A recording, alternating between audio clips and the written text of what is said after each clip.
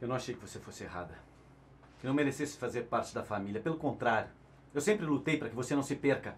O senhor tá me afastando cada vez mais. Cada vez que me critica, que me dá bronca. Será que não vê isso, pai? Isso é educar. E eu me preocupo com você. Na cidade. Ninguém se preocupa com ninguém. Lá só querem saber de realizar seus próprios desejos. É isso que você quer para você? Talvez seja disso que eu tô precisando. De liberdade. De cometer meus próprios erros. Gente burra pensa assim.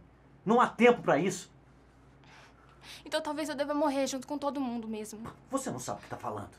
Não conhece a grandiosidade dos, dos planos de Deus para nós? Seremos salvos. E você tá proibida de voltar na cidade. Proibida. Tá vendo? Você disse que quer conversar e sempre termina desse jeito, me dando ordens. Se proíbo, você não sabe o que faz. O senhor não dá pra conversar. Não vire as costas pra mim. Você tá passando dos limites. Você é minha filha? Ah, você vai aprender a me respeitar.